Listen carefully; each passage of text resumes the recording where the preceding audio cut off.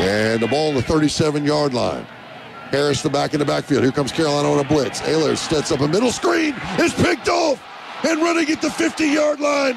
It's Staley at the 30, at the 20. Staley still on his feet. They're trailing him. They're not going to get him.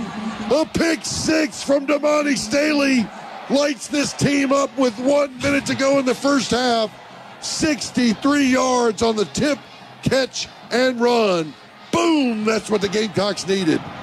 We'll take it any way we can get it, and uh, that was two two yards further than than Bush's was last week, uh, Burks rather was last week. So a um, nice play that time. A lot of good pressure. We've jumped the different front right before the ball was snapped, and we had a guy free, and Ahlers threw it, and the ball popped out of the guy's hands or on his back rather, and Staley was there to catch it and broke it and had a good. Good, uh, good move downtown, down, down, downfield rather, to make the touchdown.